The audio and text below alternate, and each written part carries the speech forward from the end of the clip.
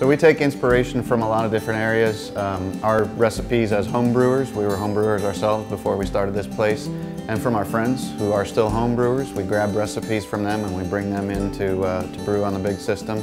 We also use music as one of our key reference points and we try and think about what a particular uh, type of music or type of artist would bring to a, to a beer.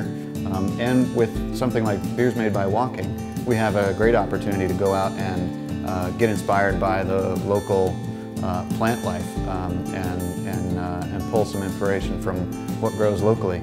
So when we went on this hike with the Beers Made by Walking folks, um, we had some idea what to expect and so I was out there looking for what is something that's going to be available in season, um, you know, that I can that I can actually get my hands on a quantity of.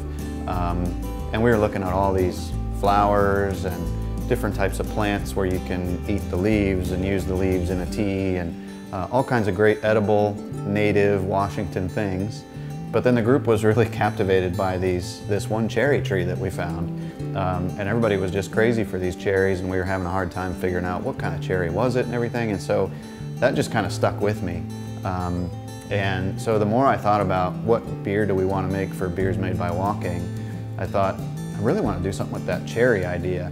Um, and there's maybe no better pairing, probably no better pairing, none better that I can think of right now anyway, than cherries and chocolate. And so Woofer Porter is a really chocolatey beer, has a lot of chocolate notes to it. Uh, and I thought, let's see what happens if we get some cherries in there and uh, hopefully it'll be awesome. Hi-Fi Brewing is in Redmond, Washington. We've got a nice tap room, open seven days a week. Uh, great place to come and visit and occasionally you can stop in and see us brewing through the big glass windows. Um, watch us sweat while you uh, enjoy a nice cold beer.